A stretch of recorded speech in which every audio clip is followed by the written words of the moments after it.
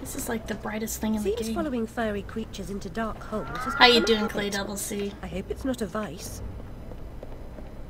I've never played this game, so I have no idea what to expect. I've heard amazing things of it, and when I was playing that Wolfie game, uh, the Red Hood Diaries, they said that this was another game that I would absolutely love.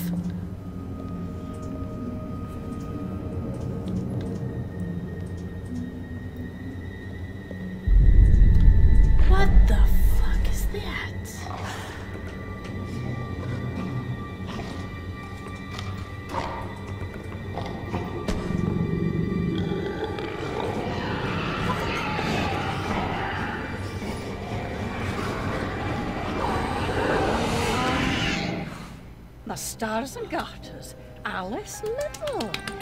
Summon again, are we? Wow. Nurse Witless,